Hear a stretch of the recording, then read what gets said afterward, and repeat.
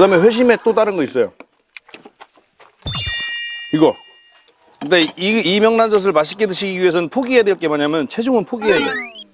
근데 체중을 포기할 만큼 맛있어요. 어? 어떻게 알아요? 소기님 어떻게 하세요? 마요네즈인데.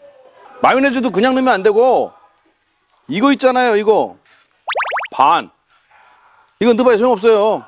이를 하프를 먹을 거면 뭐하러 마요네즈를 먹어? 그냥 그냥 먹어야지. 그 명란젓 양하고 거의 1대1. 쫙. 어, 듬뿍. 아니 이거를 한 번에 다 먹으면 문제지만 해놓고 두고두고 먹을 거니까 김치밥에 같이 먹는 끝판왕은 이거예요. 먹어보면 놀랄 거예요. 일단은 김치밥에다가 싹 비벼서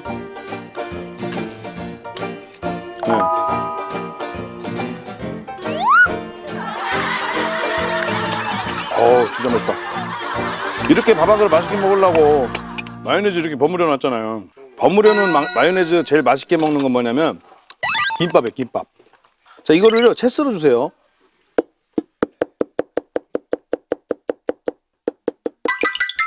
잘하죠? 오이도 가능하면 길게.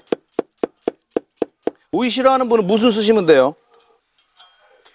칼질하는 거는 비법이 없고요. 연습을 해야지. 뭐 저도 손가락 많이 뱄어요. 손 여, 여기 여기 보이시나요? 흉- 흉터가?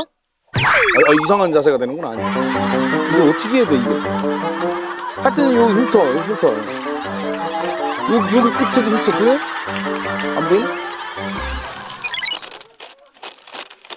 삼각형인데 한쪽은 잘린 삼각형, 한쪽은 삐쪽한 삼각형 이렇게 보세요.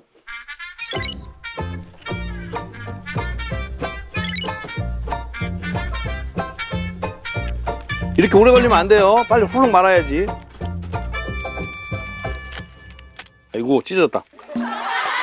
모양이 이상하네. 그렇죠? 원래대로라면 약간 이렇게 위에가 좀 이렇게 좀 나오고 그래야 되는데 예, 안 되면 그냥 슬쩍 꽂아주시면 돼요 여기. 예. 아. 음, 음, 음.